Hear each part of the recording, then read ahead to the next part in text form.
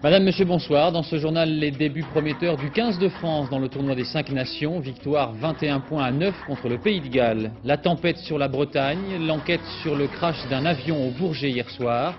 Une nouvelle secousse à Kobe au Japon et un bilan qui dépasse désormais les 5000 morts. La politique française, polémique Chirac-Balladur après l'éloge appuyé aujourd'hui de Jean-Marie Le Pen au Premier ministre. Et nous terminerons ce journal par de la mode avec le début, le début des défilés haute couture pour l'été prochain. Le sourire et l'enthousiasme de la princesse de Galles présente dans la tribune du Parc des Princes cet après-midi n'ont pas déconcentré les 15 joueurs de l'équipe de France de rugby. Une victoire méritée à l'issue d'un match sérieux. Le tournoi des cinq nations commence bien. Christophe Duchiron. Lady Diana avait encore le sourire et la coiffure bien apprêtée. En Pays de Galles, elle est venue soutenir le Pays de Galles. À cet instant du match, les Gallois avaient besoin d'autre chose que d'un sourire. Les Bleus du 15 de France font souffler un vent de panique chez les Rouges du 15 de Galles. Ça fait 20 minutes que les spectateurs attendaient ça. Les Français ont mis du temps à lancer la machine, c'est dommage, car lorsqu'ils ont joué, les Gallois n'ont pas pesé lourd. Benazi, le troisième ligne, qui joue comme un trois quarts. Le ballon arrive jusqu'à Emile Ntamak. Pas de micmac, Ntamak inscrit le premier essai des Bleus. En première période, Jenkins, le demi d'ouverture, marque deux pénalités pour son équipe. Les Gallois sont vaillants, mais c'est loin d'être suffisant. Un peu avant la demi-heure de jeu, la marée bleue déferle sur le Parc des Princes. Et c'est reparti pour un tour. Un tour de passe-passe. Délo pour la Croix qui donne à Saint-André. Saint-André qui file à l'essai. À la mi-temps, l'équipe de France mène 15 à 6. En deuxième période, on attendait un festival d'essais. Il y a bien eu un essai, mais c'est dommage, l'arbitre l'a refusé pensant que Delo n'avait pas aplati. Delo n'avait pas l'air d'accord. Pour le reste, sous une pluie battante, la Croix deux coups de pied de pénalité pour faire bonne mesure. Lady Di Pachovine pour un sou a applaudi, la princesse de Galles qui rend hommage au prince du parc, et pourtant les Français n'ont pas disputé une partie royale face à une équipe galloise un peu faible, n'empêche, ils ont réussi à s'exprimer. we have seen, and I have seen uh, uh, two styles. The, the first 20 minutes, uh, I've seen Les Bleus ont beaucoup dit sur le terrain, l'entraîneur lui a trouvé à après match, et en anglais s'il vous plaît. Dans 15 jours, les Bleus affrontent le 15 d'Angleterre. Ils ont le temps de réviser leur rugby, Pierre Berbizier, lui, a le temps de réviser son anglais. Angleterre-France, ce sera effectivement dans 15 jours à Twickenham. Le match du tournoi des 5 nations. Les Anglais vainqueurs cet après-midi à Dublin des Irlandais, 20 points à 8. Ils ont inscrit 3 essais. Vous voyez ici le premier marqué par leur capitaine Will Carling. L'actualité en France avec un gros coup de tabac sur toute la Bretagne aujourd'hui, des routes coupées, des rivières en crue et des pointes de vent jusqu'à 120 km heure. Sur place, notre correspondant Jacques Deveau et Gabriel Camilla. Ce soir, les communes de Guipry et de Messac, à 30 km au sud de Rennes, sont les plus touchées par la montée des eaux de la Vilaine. 150 maisons sont inondées et une cinquantaine ont été évacuées. Nous, non. Non, j'avais dit là, mais... euh, Ah oui on n'a jamais eu ça. non. 30 à 40 cm de flotte, euh, bonjour les dégâts quoi. On est obligé de tout dégager parce que c'est le bordel. Les pompiers volontaires de Messac sont sur la brèche depuis trois jours. Ils installent des passerelles pour permettre aux irréductibles de rester chez eux. Vous avez pas peur, hein? Plus vous passe On rester où on est Il y a que Personne ne peut vous héberger, là. On va aller nulle part, on va rester chez nous. Même si ça continue à monter? Pareil, on monte en haut. Paradoxe, malgré toute cette pluie, l'eau potable manque. La station de pompage de Langon est quasiment noyée. La distribution d'eau a dû être interrompue pour 22 communes. Elle reste potable, mais par mesure de, de prudence, étant donné qu'on est quand même euh, dans une zone inondée et nos captages étant eux-mêmes inondés, il faut qu'on prenne certaines précautions. L'épicerie du village a été prise d'assaut. On s'arrache l'eau minérale. Bien monsieur, vous faites aussi euh, vos réserves Ben oui, parce que j'ai écouté la radio qui indique qu'on peut avoir des problèmes de gastro-entérite. Autant prendre ses précautions. 8 heures ce matin, j'ai commencé à me faire ravitailler par ma centrale d'achat et puis bon, bah, jusqu'à présent ça va. Mais je ne sais pas vous dire ce soir ce qu'il en restera. Vous n'avez jamais vendu autant de bouteilles d'eau Jamais, monsieur, depuis que je suis à Langon, jamais. La pluie violente dans l'après-midi s'est interrompue dans la soirée. Tout le monde retient son souffle, mais la préfecture d'Ille-et-Vilaine se montre optimiste et précise que la tendance est plutôt à la décrue. Et puis un incendie s'est déclaré à bord d'un chalutier pris dans la tempête au large de Concarneau cet après-midi. On a craint pendant de longues heures pour la vie des 16 hommes d'équipage. Finalement, vous le voyez, ils ont pu être euh, récupérés par un hélicoptère. Ils sont rentrés sains et saufs à Lanbiwe, dans le Morbihan, en début de soirée. Aucune certitude 24 heures après le crash d'un Falcon 20 hier soir au Bourget, près de Paris. Une information judiciaire est ouverte. La collision avec des oiseaux au moment du décollage n'est qu'une hypothèse parmi d'autres. L'enquête menée par Pascal Doucebon. Toute la journée, les enquêteurs ont examiné les quelques débris du Falcon 20 de la compagnie Leader. La boîte noire et l'enregistreur de vol sont encore en cours de décodage et de transcription.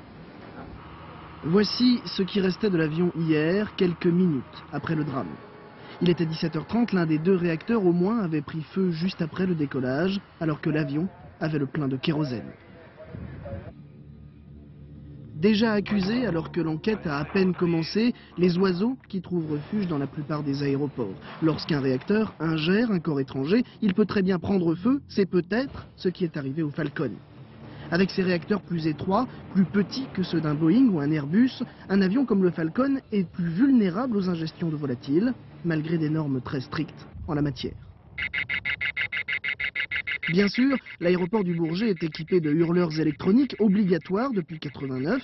Ces haut-parleurs censés effrayer les oiseaux ont une efficacité limitée. De plus, plusieurs riverains affirment que les hurleurs du Bourget ne fonctionnaient plus depuis plusieurs jours. Moi j'habite Duny depuis plus de 30 ans. Depuis ces, derniers temps, c'est même, on peut dire, ces quelques derniers mois, on n'entendait plus les brouteurs. Mais l'ingestion d'un volatile n'est qu'une hypothèse. Les oiseaux ne sont peut-être pas seuls responsables. La météo était exécrable au moment du décollage. Au Japon, la ville de Kobe est décidément maudite. La terre a à nouveau tremblé dans la région et des pluies torrentielles devraient s'abattre sur la ville dans les prochaines heures. Plus de 5000 morts, c'est le nouveau bilan, et les derniers efforts des secouristes pour retrouver les 256 habitants encore portés disparus. Le point avec euh, Patrice Romden. El Asnam, Mexico, l'Arménie, l'Iran, les Philippines, ils sont intervenus partout. Ce sont les hommes de la sécurité civile de nos gens le retrouvent. Ils débarquent à Kobe où il reste plus de 500 immeubles à sonder et quelques vies à sauver. Là, il se peut très bien qu'il y ait encore pas mal de, monde qui soit dessous. Bon, c'est sûr qu'on trouvera des personnes déshydratées, on trouvera des personnes très très fatiguées parce que ça fait quand même 6 jours, mais on a encore une chance. On profite. Au total, 60 sauveteurs, dont 4 maîtres chiens et 4 médecins. 11 tonnes de matériel de secours les accompagnent, leur force, la coordination. La caractéristique de l'unité, c'est que l'on regroupe à la fois le chien, l'écoute, le sauvetage et le médecin au même endroit, sur le même site. Et ceci est une spécificité française. La tâche des sauveteurs s'annonce d'autant plus ardue que Kobe s'apprête à connaître des pluies torrentielles. Alerte au glissement de terrain sur la ville, évacuation de 600 personnes encore aujourd'hui et distribution de bâches aux sans-abri parmi lesquels commence à se répandre une épidémie de grippe. Les médecins craignent l'apparition de maladies plus graves alors que Kobe n'en finit plus d'enterrer ses morts. Les corps sont conservés dans la glace, les cercueils construits à la hâte. Mais du néant, il arrive qu'émergent quelques réconforts. Ainsi ce nourrisson, venu au monde au moment où la terre tremblait, la mère et le bébé se portent bien et seul le médecin, projeté au moment de la secousse en plein accouchement, a le bras cassé.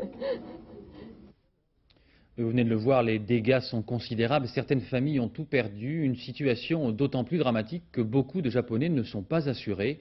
Les primes d'assurance qui sont calculées en fonction des risques sismiques sont bien trop élevées. L'enquête en Suisse auprès d'un assureur de Nicolas Jacobs et Pascal Pueyo. Cela fait quatre jours qu'Edouard Schmitt a les yeux rivés sur les données sismologiques en provenance directe de Kobe. Mardi, ce n'est pas tant le phénomène géologique qui a frappé cet assureur, mais les éventuelles secousses financières que cela pourrait provoquer. Je me suis mis devant la télé et une de mes premières pensées c'était combien ça va coûter pour l'assister. Pour l'instant, pas de panique au bord du lac de Zurich, au siège de la Suisse de Ré, le numéro 2 mondial de la réassurance qui compte beaucoup de clients au Japon. Les experts de cette société estiment à 600 millions de francs la facture qui leur sera envoyée, un montant très faible quand on sait que la même firme a dû payer l'an passé 400 millions de francs pour le séisme de Los Angeles, pourtant infiniment moins destructeur. C'est qu'au Japon, classé zone à très haut risque, les assureurs imposent des surprimes énormes. Ici, à Tokyo, une assurance dommage coûte 10 fois plus cher qu'à Paris. Résultat, particuliers et entreprises s'assurent peu contre les tremblements de terre. Bien des particuliers renoncent à être couverts contre le choc de tremblement de terre. Le cas des risques industriels est un petit peu différent. Beaucoup de risques industriels sont couverts contre le tremblement de terre, mais les valeurs assurées ne sont couvertes qu'en partie. Ainsi, à l'horreur du drame, succéderont pour la plupart des sinistrés des conséquences financières insurmontables. Sauf aide de l'État, ils devront assumer directement la majeure partie de la reconstruction, un coût que les experts estiment à plus de 300 milliards de francs. La politique française maintenant est la première réelle passe d'armes de la campagne électorale entre chiraciens et baladuriens. À l'origine de la polémique, une déclaration de Jean-Marie Le Pen aujourd'hui. Le président du Front National a avoué à demi-mot sa préférence pour le candidat Balladur. Il l'a dit à Patrice Velay avant une réunion électorale à Toulon cet après-midi. Écoutez. Jacques Chirac est un de ceux qui a contribué par complicité active avec la gauche à maintenir le Front National dans un véritable état d'apartheid politique. Alors il ne peut compter de notre part sur aucune forme de sympathie ni d'indulgence. Est-ce que vous diriez la même chose de M. Balladur? Évidemment non, puisque lui n'a pas participé à cette euh, mise en apartheid. Ça me paraît euh, appartenir à l'histoire de France. J'ai été reçu en deux ans, je crois trois ou quatre fois avec mon état-major dans le cadre des réunions des partis politiques à Matignon. Ce n'est un secret pour personne. Que concernant je... la campagne présidentielle, non, bien sûr. je n'ai eu aucun rapport avec M. Balladur concernant la campagne présidentielle. Vous pouvez en avoir Éventuellement, pourquoi pas? Moi, je suis un homme public. Par conséquent, je ne refuse aucun contact ni aucune discussion avec qui que ce soit. Précisément, réaction immédiate des proches de Jacques Chirac réunis dans le département de l'Aube. Ils demandent au Premier ministre de s'expliquer sur d'éventuels contacts avec des responsables du Front National. À Troyes, Carole Comon et Dominique Bonnet. En campagne dans l'Aube, le candidat Chirac a prudemment choisi de ne pas alimenter la polémique du jour. L'ancien président du RPR s'en est tenu à son programme, un déjeuner-débat avec quelques 2000 élus locaux. Depuis plusieurs jours, pourtant, les Chiraciens répandaient en coulisses des rumeurs de rencontres, voire d'accords secrets entre le Front National et des proches d'Édouard Balladur. Les propos tenus aujourd'hui par Jean-Marie Le Pen leur ont permis de manifester leur indignation, mais aussi de se précipiter pour mieux enfoncer le clou. Si demain, euh, M. Le Pen devenait un allié d'un candidat devenait l'allié du Premier ministre, ça serait, c'est vrai, une redistribution des cartes. Ça serait, je dirais, un événement politique non négligeable. Alors je crois que le Premier ministre doit refuser le soutien de M. Le Pen, parce que si demain les soutiens qui allaient à sa campagne devenaient celles de M. Noir et de M. Le Pen, ce ne serait plus une majorité, ce serait plutôt un patchwork quelque peu gênant. Une alliance Le Pen-Balladur, l'argument est balayé d'un revers de main par les partisans du Premier ministre ce n'est pas connaître Édouard Balladur que de penser que sous une forme ou sous une autre, il envisage de discuter avec quelque parti que ce soit, puisqu'il s'est établi au-dessus des formations politiques comme candidat d'union. Par conséquent, il s'adresse aux Français et à nul autre. Les Chiraciens viennent donc de lancer la première vraie polémique au sein du RPR, et ce, trois jours seulement après la déclaration de candidature d'Édouard Balladur. Cette fois, c'est sûr, la bataille interne est vraiment lancée. La cote d'Edouard Balladur est en hausse dans le dernier sondage de l'IFOP à paraître demain dans le journal du dimanche, plus 4 points à 55% de bonnes opinions. François Mitterrand gagne lui 5 points à 53%. L'une des composantes de l'UDF, le Centre des démocrates sociaux, a, comme l'on s'y attendait aujourd'hui, déclaré sa flamme à Édouard Balladur, le CDS qui demande à Raymond Barre de ne pas se présenter à l'élection présidentielle. Jean-Baptiste Prédali et Pascal Caron. Les centristes ont déjà voté et voté Balladur.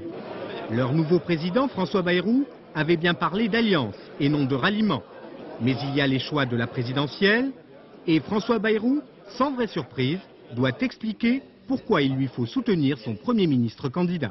Sur tous ces points, conciliation, réconciliation, honnêteté, autorité, solidité, alors oui, nous n'avons pas à regretter.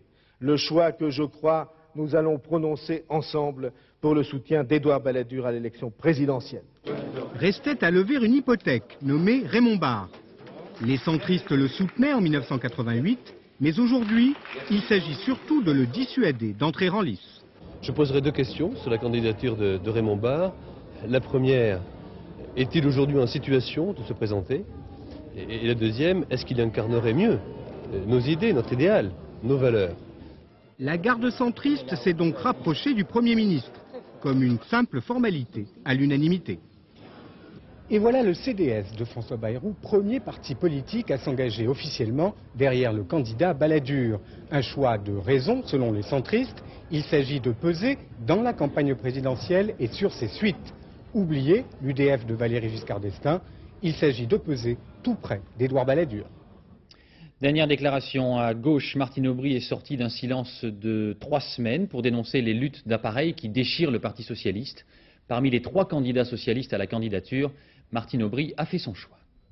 Eu égard à la fois aux qualités personnelles de Lionel Jospin, mais aussi à ses convictions politiques et euh, que nous partageons, c'est que nous sommes avec détermination derrière lui pour le soutenir à la candidature au sein du Parti socialiste. Ce qui se passe au sein du Parti socialiste est déraisonnable dans l'esprit dans lequel il se passe. Le fait que les militants aient à choisir entre plusieurs candidats ne nous choque pas. Chacun a le droit d'être candidat et nous ne critiquons aucun candidat du fait de l'être.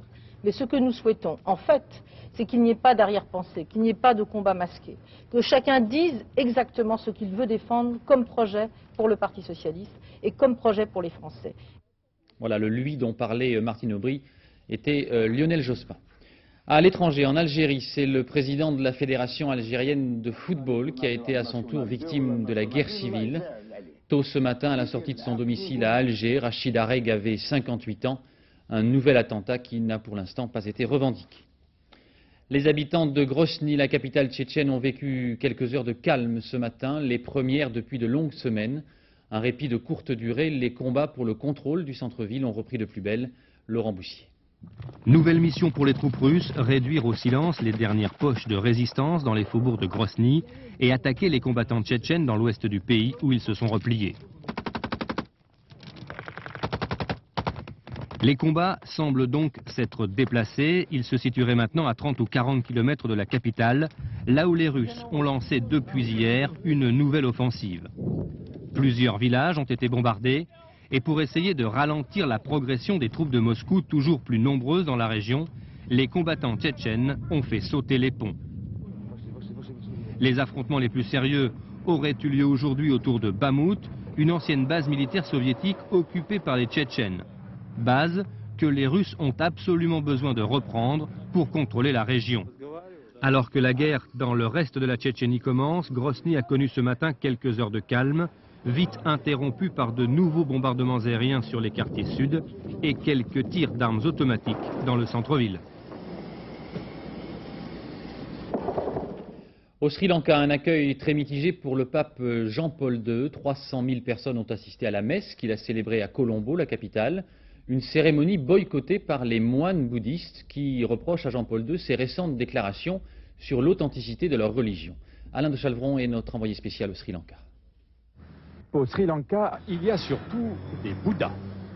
Des petits, des grands, dans la position du lotus ou allongés. Il y a aussi quelques temples hindous et quelques églises pour les 7% de catholiques. Ce temple bouddhiste de Kalania, par exemple, est un des endroits les plus sacrés des bouddhistes. Bouddha y s'est revenu il y a 2700 ans et aurait médité sous cet arbre.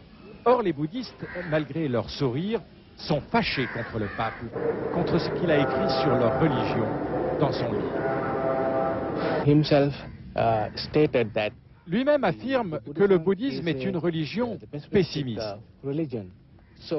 Alors, dans un certain sens, il ne peut pas nous rencontrer, être face à nous avec de telles impressions. Résultat, la réunion prévue entre Jean-Paul II et les représentants des autres religions a été tout simplement boycottée par les bouddhistes. Il n'y avait que les musulmans et les hindouistes. Cela n'a pas empêché le pape d'être accueilli très chaleureusement par les Sri Lankais. Sur les 30 kilomètres qui séparent Colombo de la ville, il y avait des centaines de milliers de personnes, parmi lesquelles, sans aucun doute, beaucoup de bouddhistes. Et la messe de béatification d'un missionnaire portugais qui a évangélisé le Sri Lanka s'est déroulée ce matin sans aucune perturbation, même si Jean-Paul II a paru accuser le coup de la fatigue. 35 000 kilomètres, 4 pays visités, 11 faisceaux horaires et des différences de température considérables entre Rome et par exemple ici Colombo ne l'ont pas empêché de faire tout son programme, l'intégralité de son programme. C'est un éclatant démenti à tous ceux qui avaient un petit peu tendance ces derniers temps à l'enterrer un peu vite. Loin des considérations spirituelles, retour aux réalités de la société de consommation et au cauchemar, pour certains, des publicités à la télévision. Aux États-Unis, où l'on a parfois du mal à distinguer ce qui est programme et ce qui est pub, un magnétoscope révolutionnaire vient d'être mis au point. Il permet tout simplement de zapper les pauses publicitaires. À New York, au de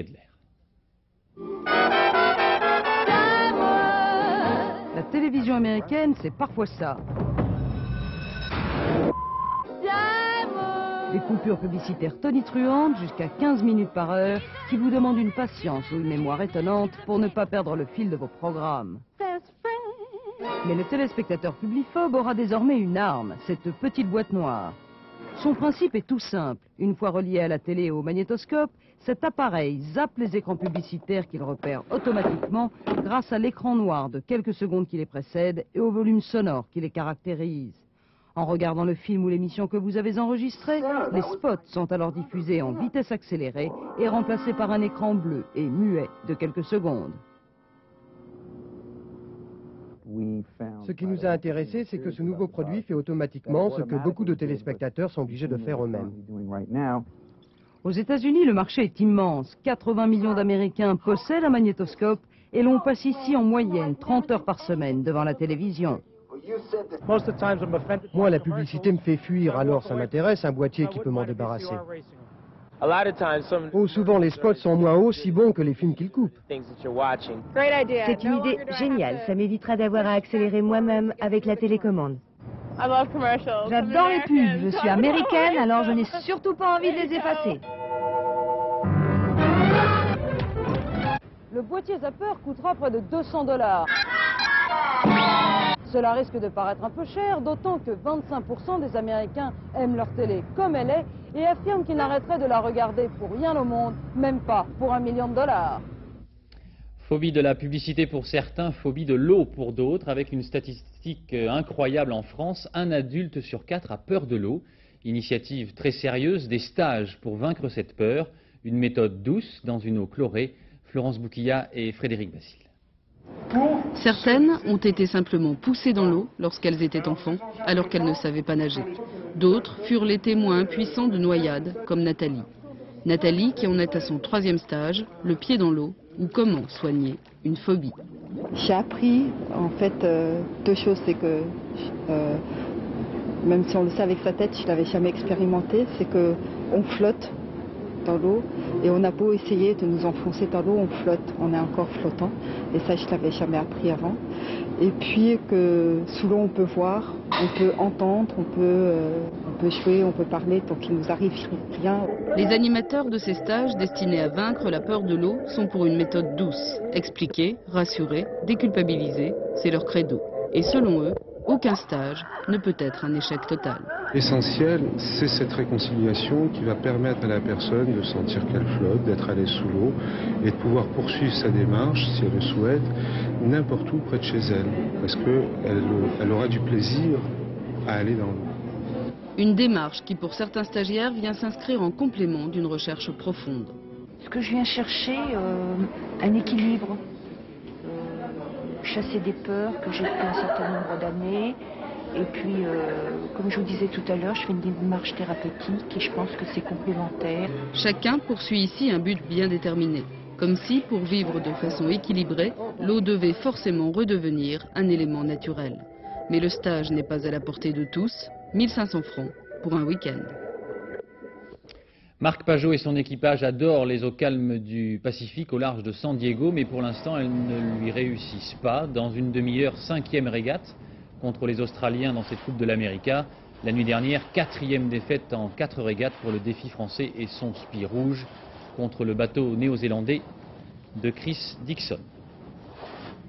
Des côtes de Californie aux accents de Broadway, l'actualité culturelle nous ramène au théâtre Mogador à Paris avec la nouvelle création de Jérôme Savary, Cabaret, et dans le rôle de la célèbre Sally Bowles, déjà interprétée par Liza Minnelli et Ute Lamper, la très dynamique Didi Bridgewater, Thierry et Bernie Merriot.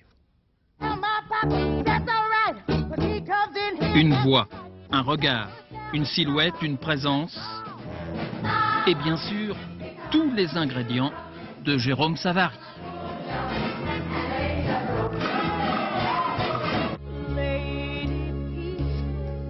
Dix ans après l'avoir monté avec Ute Lemper, Savary reprend la comédie musicale Cabaret et fait mouche avec Marc Lavoine, chanteur, auteur des Yeux Revolver, et Didi Bridgewater, une Sally Bowles noire, perruquée, à la Marlène.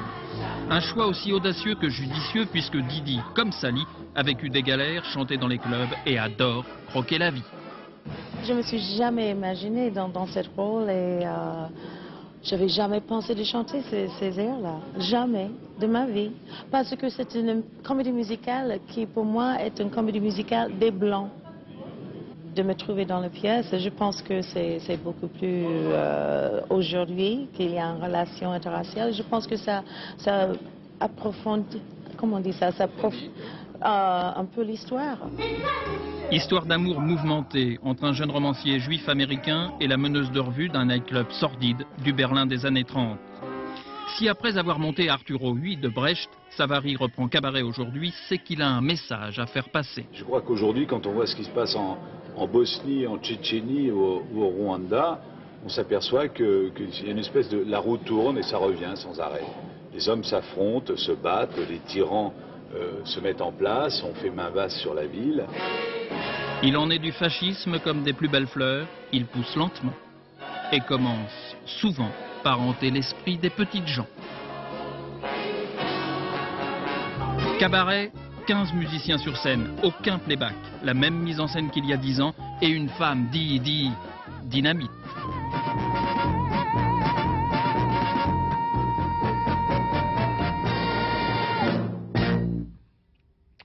Peu plus sage, mais tout aussi esthétique, les premiers défilés haute couture printemps-été 95 et la surprenante docilité de l'italien Versace, Nicole Cornu-Langlois et Michel Levasseur. Emmanuel Seigné et Roman Polanski, Rupert Everett et même Valentino étaient venus applaudir Claudia, Carla, Nadège et les autres top modèles choisis par Versace pour un défilé d'été éblouissant, où même les maillots de bain se couvrent d'autant de broderies précieuses que les robes du soir pastel.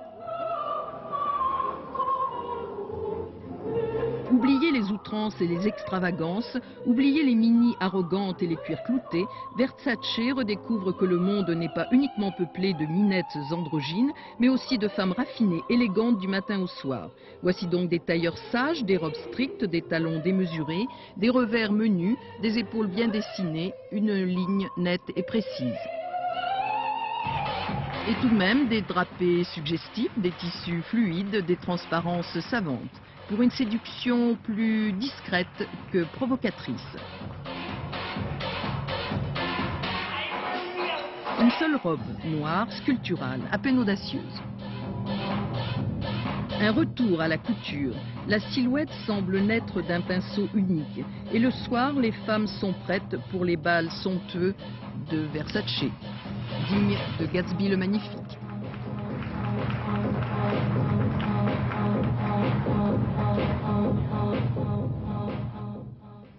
Habit de lumière et ambiance assurée sur le plateau de Nagui à 20h50. N'oubliez pas votre brosse à dents. Puis chez la Watt, Christian Spitz, les jeunes et Monseigneur Gaillot, l'ex-évêque d'Evreux. Le dernier journal vous sera présenté par Catherine Sellac vers 1h15. Avant tout cela, la météo de Nathalie Riouet. Demain à midi, l'heure de vérité. François-Henri de Virieux recevra le ministre de l'Éducation nationale et président du CDS, François Bayrou. Et j'aurai le plaisir de vous retrouver à 13h et à 20h. Je vous souhaite une excellente soirée.